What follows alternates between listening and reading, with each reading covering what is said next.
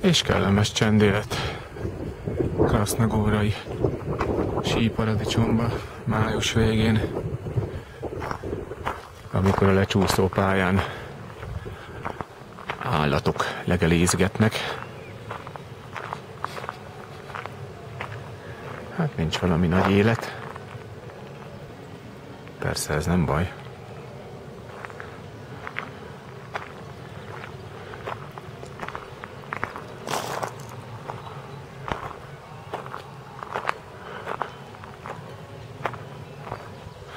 Most a helybeliek másra hasznosítják a hegyoldalt.